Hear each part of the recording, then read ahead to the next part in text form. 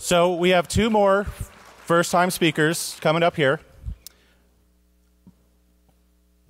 We're going to give them the only piece of DEF CON merch that each and every one of you out here could earn, but you have to earn it.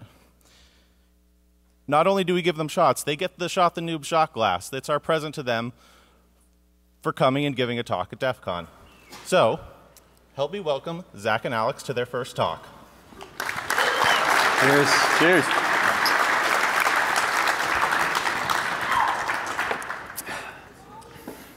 And their talk, infe- Infecting the Embedded Supply Chain. I was telling them on the walk over here, I haven't read your abstract, but just from the title, I saw that and I'm like, yeah, we need to do better at that because I work on an embedded device and eh, they're poking holes where we've got holes. All right, help me welcome Zach and Alex. Hello? Can you guys hear us? Hello, everybody. This is uh, infecting the embedded supply chain. So, disclaimer um, we thought we had a 45 minute slot, but we actually have 20 minutes. So, we're going to try our best to condense everything within that 20 minutes. So, we have a couple of videos, um, which we'll try to do. We'll try to get to everything, um, but if we don't make it to everything, we'll post everything to our website, somersetrecon.com, and we'll have proof of concept code on GitHub as well. So you guys can check that out. Um, I'm Zach. Um, like I said, I work at Somerset Recon. I do a combination of web application pen testing and reverse engineering. I specialize in vulnerability research and exploit development. I'm Alex. Uh, I'm a barista that occasionally does security things at Somerset Recon. Uh, I enjoy making cappuccinos, hardware hacking, and reverse engineering. Um, just a little bit about Somerset Recon. We are a security consultancy based out of San Diego. We specialize in web applications, mobile applications, and embedded device security. Um, and you can find out more about us at somersetrecon.com. And our Twitter. Cool. So aside from our day-to-day work, we also like to do uh, some cool side projects. Uh, one of which was an electronic safe, uh, safe lock that we looked at um, that allowed you to uh, either enter in a pin manually to unlock a safe or you know, over Bluetooth on uh, your uh, favorite mobile device. Um, we found some vulnerabilities there, including being able to decode pins wirelessly over the air and replay them. And also, um, we reversed the uh, wire protocol and created a brute force um, device for that. Um, we also did work on the Hello Barbie, which is an IoT doll that um, kids can talk to and have a full conversation with. Um, we looked at all the uh, web services and reversed the mobile application and pretty much just figured out how that all worked and found some vulnerabilities and made a white paper, which is online as well.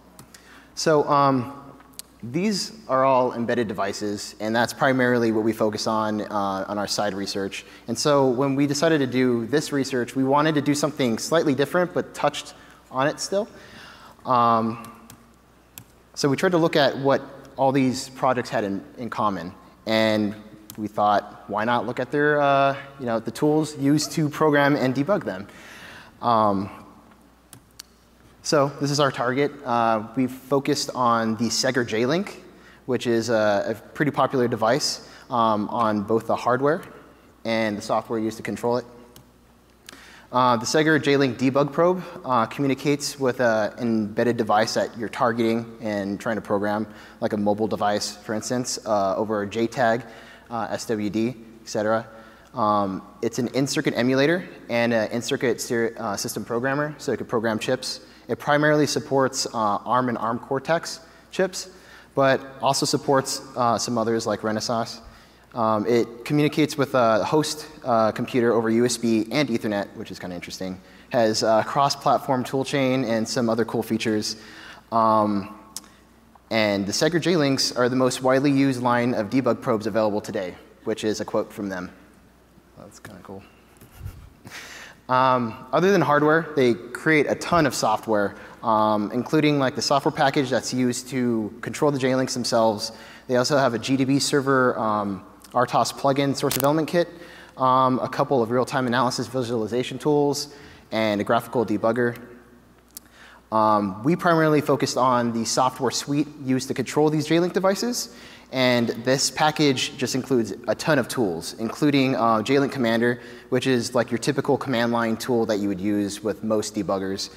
Um, a GDB server, a remote server, which allows a client to connect to a JLink Commander session um, within the local network, uh, a memory viewer, and a flashing tool to just flash.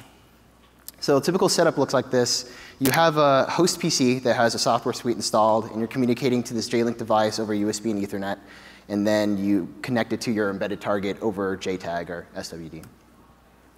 So in terms of attack surface, I mean, there's a lot. I mean, this company makes a lot of different products. Um, the hardware debug probes themselves, we're interested in firmware and, you know, uh, how that works, and also can you infect the debug probe itself or can the debug probe infect um, the end device that you're trying to uh, target? Uh, and then in addition to that, there's a lot of software attack surface as well.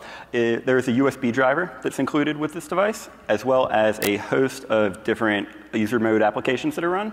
And in addition to that, which is also a pretty interesting thing, they have a custom IDE that's also used to develop applications for the JLink.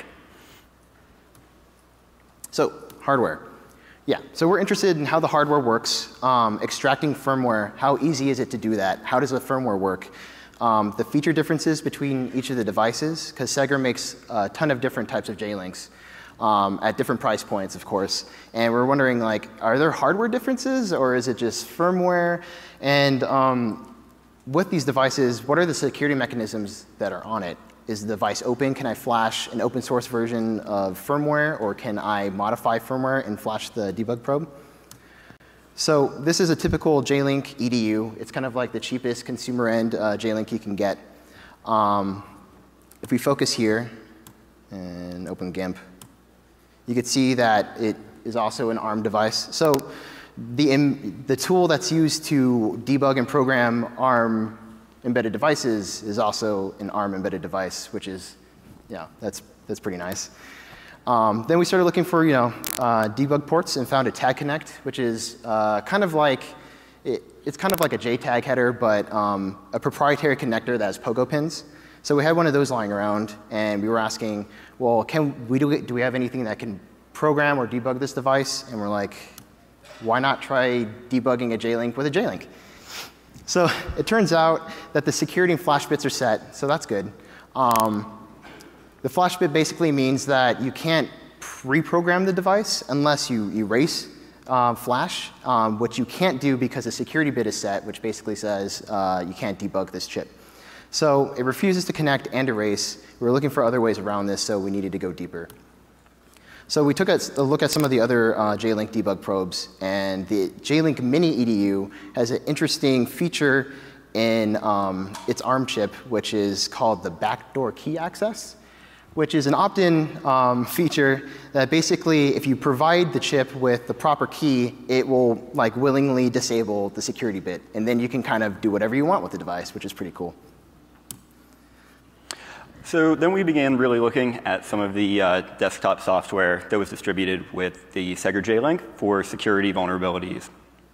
We started out just doing some high-level reverse engineering. We uh, noticed that they distributed their software to both Linux and Windows systems. In reverse engineering this, we determined that they were using cross-compiled code. So that eliminated some redundant work uh, where the only one of the operating systems versions really needed to be reverse engineered to determine the functionality and vulnerable portions of the code. We also noticed that they were using some custom string manipulation code, which was somewhat interesting, and we'll talk a little bit about that more later. Um, we also noticed that they used a lot of dangerous functions. They used string copy, string cat, and a lot of other things that don't check the length of the destination buffer. From the point of binary protections, Segra opted into most binary protections.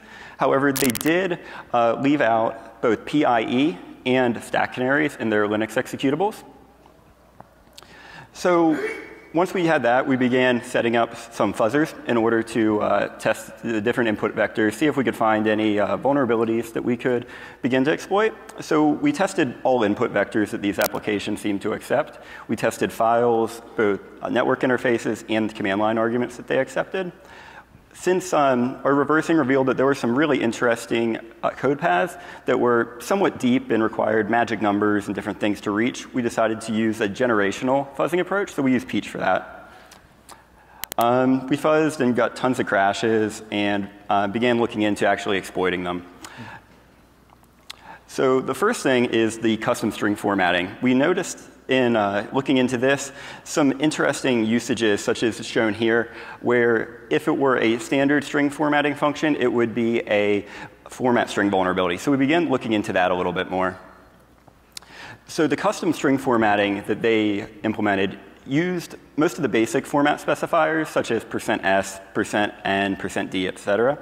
Um, but it did not accept the percent %n that's typically used in format string vulnerabilities. Um, so with that, we were able to uh, do some of the format string uh, exploits. We were able to do arbitrary reads, as shown here. However, due to the fact that it lacked the percent %n specifier that's used to write bits, we were not able to turn this into an arbitrary write. We also found in the uh, JLink commander tool, which we talked about earlier, it's a command line tool, um, there's a feature called command file, which basically you can feed JLink Commander a uh, script to kind of set up your environment before you start uh, debugging your device. And this, uh, the um, file parsing code had a vulnerability, which was a traditional stack buffer overflow. And so in the image, you can see that we kind of just feed a bunch of A's into a payload, and then we pass it into JLink exe, and it just segfaults. So if you triage that in GDB, you can see that it um, it tries to return to address 41, 41, 41, 41. So we went a little bit further with it, and we were able to create a POC um, with like five basic steps, which is take over the return address, get the address of libc, use that pointer to get the address of system, and call system with arguments, and you got code execution. Uh, we won't be able to go over the POC because of time, but Ultimately, uh, we got code execution. It works on the 32-bit JLink exe binary on i386 and AMD 64 Linux systems. And it's a ROP with ASLR bypass, return to libc, and reverse shell is very doable, but requires ROPing in libc a lot. But the general idea is with this attack that an attacker can create a malicious uh, command file and dummy firmware and send an e urgent email um, with this as an attachment to a developer at a targeted company. So developer, developers are typically pressed for time, so they'll probably run this with JLink Commander, and it would pop a shell and return back to the attacker. Uh, we also found uh, in the same binary, we found a, another file, file, parsing vulnerability in the settings file flag, which is very similar to command file, um, but it's in a completely different area. Uh, it's in a library called uh, jlinkarm.so, and that's where a lot of like the ARM specific code is in for like a, uh, uh, the JLink software suite. Um, and this is, in particular, is a buffer overrun in the BSS segment. So you can use this to kind of overwrite function pointers in the BSS segment. We also got RCE, which is cool. So after that, we started looking at uh, an in really interestingly named executable called JLink Remote Server. So once we saw this, we kind of perked up a little bit and began trying to look at the functionality of this executable. So running a basic netstat, we noticed that it was listening on a number of ports, and particularly of interest to us was it looked like it was listening as a telnet server. So we wanted to figure out if this was actually having a telnet server embedded in the executable or what was going on there. So a little bit of reverse engineering revealed that they actually had embedded a telnet server within their executable. So it allows users within the network to uh, connect to this JLink server and uh, do remote debugging. So we began fuzzing this and uh, noticed a really interesting crash where we had overwritten the uh, instruction pointer with AAAA, which is always good. Uh, we did a little bit of reverse engineering and triage on this and picked up a couple things. It was a stack buffer overflow that we were able to trigger remotely. We were not able to get the crashes to be consistent due to race conditions within the executable. We had a fairly limited amount of stack space to work with if we were going to build a ROP chain. We were limited to 48 bytes. And again, we had ASLR and NX enabled on this executable, but PIE was not enabled. So we used typical exploitation techniques. We used ROP to bypass the NX. And then with a ROP chain, we did a dereference of the GOT in order to leak the address of libc. from there, we could calculate the offset of system and then do a return to libc. Um, the main issue that we ran into here was we wanted to send arbitrary attacker-controlled payloads to system, and we had trouble kind of getting the user-controlled strings to consistently be passed in the system. So we realized that user-controlled data was being stored in one of two locations in the executable. And due to a race condition, we couldn't determine if it was going to be in one location or the other. So we tried to figure out if there was some way we could make it more consistent, and we came up with the following. So we called this space sleds, where we were inspired by the NOP sled techniques, in which NOPs are prepended to a shellcode payload, and it improves exploit consistency. So here we prepend spaces to the user-controlled command string, and we hope that that would improve the consistency of our exploit. So what we did here is since the two locations where we were seeing the attacker-controlled payload string were 72 bytes apart, we prepended 72 spaces to our string, and that created an overlap where we could point our argument uh, to system. So we have a demo where if we have enough time at the end of this, we'll be able to show. And then additionally, in looking into the JLink remote server, we found some other really interesting functionality. So we term this the tunnel server backdoor, and Segger has this as a documented feature within their application. And it, they said it just provides a tunneling mode from a re remote computer into the, your network and allows remote debugging. Even when they're not in, within the... Um, in the local network, correct.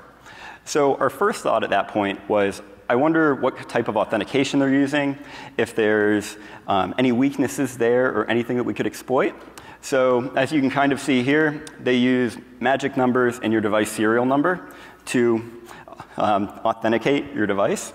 Uh, so that was a pretty, uh, pretty scary thing.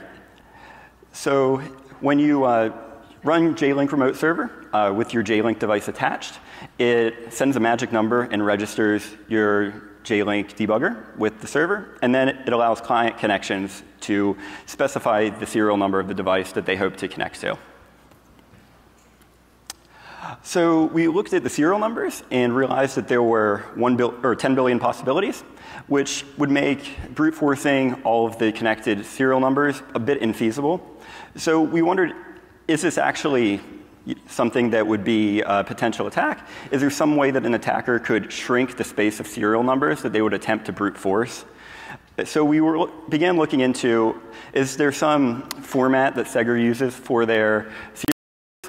is there like some smaller range or number that they start at that we could use to shrink the space?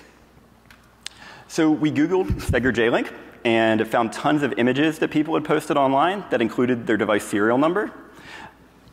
Uh, we called some people that we know that also had Segger JLinks and asked their device serial number. And in the end, we got about 30 JLink serial numbers that we were able to analyze and started to notice a few patterns that emerged. So the first two digits of the serial numbers were correlated with the model of device, whether you had a JLink Pro or a JLink Mini. After that, two digits for the version, where if Segger would release a slightly updated version, that would increment. And then finally, the last uh, five digits are a device unique number that's incremented. So doing a little bit of analysis on the numbers that we had, we were able to shrink the serial number space and still achieve what we think would be very good coverage with only 100,000 serial numbers. And assuming about 10 serial numbers per second could be brute forced, which is about the length that we saw the connections taking with the, um, when it was done properly via the JLink application. It would take the time from 31 years to brute force the space to about three hours. The impact here really is once you make a connection via this server, you can do all sorts of things. You can flash new firmware, you could read existing or read the existing firmware or make any sort of malicious modifications to the connected devices. So we uh, disclosed and we're really pleased with the response. They responded right away and within a week. And uh, it was very, uh, we even received a thank you from the founder and CTO of the company. So in conclusion, we just really realized that there's a, these devices are oftentimes lacking in a lot of the protections and security that we would hope from a, a device piece of the supply chain. It was lacking the PIE flag, which would have made our exploit exploitation much more difficult, as well as having lacking the security features that are just architectural, architectural and no authentication in the uh, remote server or anything like that. Cool. But wait, there's more. Okay. Before we run out of time, um, we revisited uh, the J-Link hardware, um, but instead from uh, instead of from the perspective of trying to manipulate the firmware with a hardware debugging device uh, from the OTA process, um, we realized that if you download a, a newer version of the J-Link uh, software suite, uh, J-Link Commander will ask you if you want to update your J-Link debug probe. And so we started from the network perspective and found that there, were, there was no firmware blobs being transferred over the network, and we thought that was kind of interesting.